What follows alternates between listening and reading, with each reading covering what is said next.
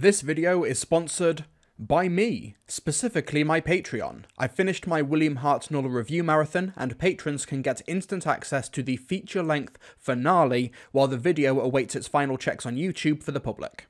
Becoming a patron massively helps to support the channel, and the link is in the description. Nothing in the world can stop me now!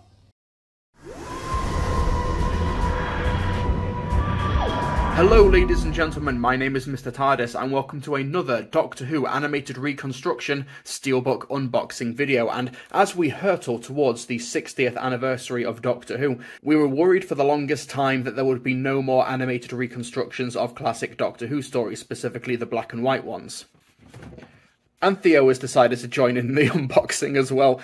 Theo, what are you doing? After the release of The Abominable Snowmen last year, we thought that there would be no more animated reconstructions because goodness knows where the funding is going to come from. But now it seems that we're going to be having a new wave of animated reconstructions, and I've got the first one here. We've got The Underwater Menace, which is a season 4 1967 story starring Patrick Troughton, Frazer Hines, Michael Craze, and Anneke Wills. Theo is clearly so excited for this unboxing that we cannot wait, so let's just open this thing up. Come on, Theo. I ordered this from HMV, so let's take this sticker off real quick. And there we go, Doctor Who The Underwater Menace, a two disc set here. And just immediately, this looks like a hollow cover. It doesn't quite feel real, but I mean that in a really cool way. This looks great. So on the back here, the Doctor and his friends find themselves in the lost city of Atlantis, where the crazed Professor Zaroff has convinced the people of Atlantis that he can raise their sunken city from beneath the sea. However, the Doctor discovers a terrible secret behind Zaroff's plan, a secret that could destroy all life on Earth. As the countdown commences to the end of the world, can the Doctor defeat the underwater menace? The original 1967 master recordings of all bar episodes 2 and 3 of the Underwater Menace were lost soon after the program's original transmission. However, audio only recordings of the missing two episodes have survived and have been used here to create a brand new, fully animated presentation of this lost classic. So, this set includes episodes 1 to 4 animated in black and white, 1 to 4 animated in colour, the surviving original episodes 2 and 3, a photographic telesnap reconstruction of episodes 2 and 4, a making of, the original audio commentaries. So, this has actually had a home media release before, The Underwater Menace. There was a DVD release a couple of years ago.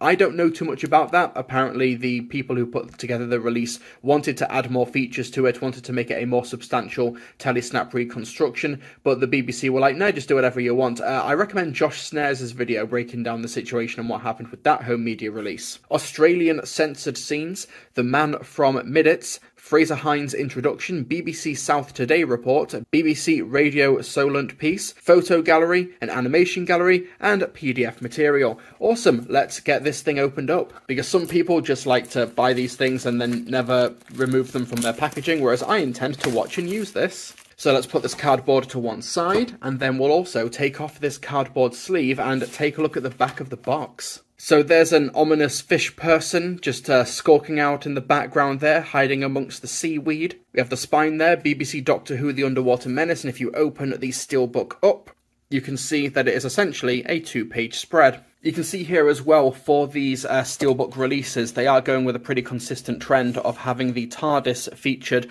on the front. And then on the back, you've got something ominously watching on from nearby. These were the two previous releases before the Underwater Menace. You've got Galaxy 4 and the Abominable Snowmen. The TARDIS is way less pronounced, it's way less dominant in the frame as the previous releases, but it still looks really, really cool. And of course, it just sort of sells the idea of the vastness of the ocean. So thematically, it works quite well. So what we'll do is that we'll look inside the steelbook as well. We'll remove the booklet and the discs as well so we can see if there's any uh, artwork on the back. These discs do not seem to want to leave the case. Come on, here we go. Yep.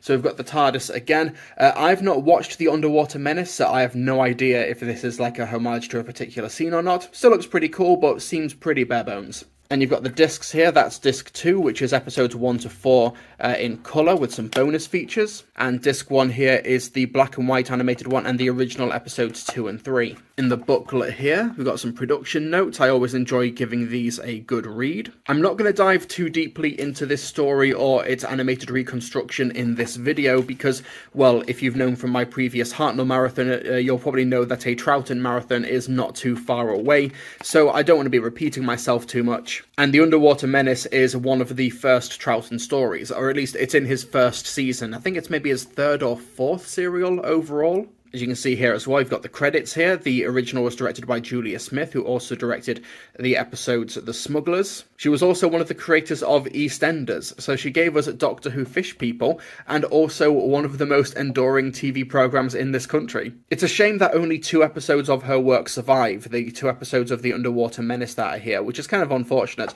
The Smugglers is a really good story that I've recently reviewed for the Hartnell Marathon, and I wish that we could see those surviving clips. So, A Fishy Tale, the making of the Underwater Menace. There are some uh, audio commentaries, including Michael Troughton, who's one of Patrick Troughton's children. Episode reconstructions. There's a VHS introduction from Frazer Hines that was done in 1998. I enjoy watching these. I have no nostalgia for VHS Doctor Who, but I kind of get second hand nostalgia from seeing, in particular, the Ian Chesterton uh, intros that were done for the Crusade. There's also the ROM content as well, which I can actually access because I finally got a Blu ray player that works on my laptop that is able to access the ROM content. I wasn't able to do that for a while.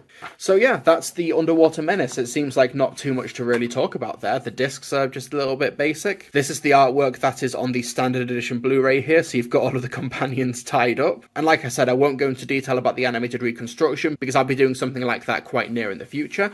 But yeah, that's kind of it. There's not really too much uh, to talk about there. The artwork looks great as usual, and I'm glad that for Doctor Who's 60th anniversary, we were able to get another animated reconstruction. I hope that there are more in the pipeline in the future. At time of recording this video, it's mid-November 2023. We don't have any announcements, or we've got a couple of rumours and speculation that the next animated reconstruction will be the Celestial Toymaker, but of course nothing official at this time. So uh, watch this space. Let's see what gets announced in the near future. But for now, we've got the Underwater Menace. We've got another part of Doctor Who season 4 completed. We've actually got a nearly full and finished season 4 of Doctor Who. We just need the Smugglers and the Highlanders. I think it's just those two, and then we've got Hartnell's final season and Troughton's first one complete. That's a collection box that I'd love to see. So yeah, let me know what your thoughts are on the Underwater Menace. Did you get the Steelbook version, or did you get the standard edition, or are you just ignoring it completely? If you did want to save money, but you still wanted to watch the animated reconstructions, in the UK, you can watch the surviving episodes on BritBox or on the BBC iPlayer as part of the Whoniverse, and you can just get the individual two animated episodes and rent them off of Amazon or other digital marketplaces like iTunes. So whatever works for you, but for me, I've got the limited edition steelbook here from HMV. Thank you so much for watching this video. Hit the like button, it really, really helps me out. So subscribe for more Doctor Who unboxing videos, and I'll see you folks next time.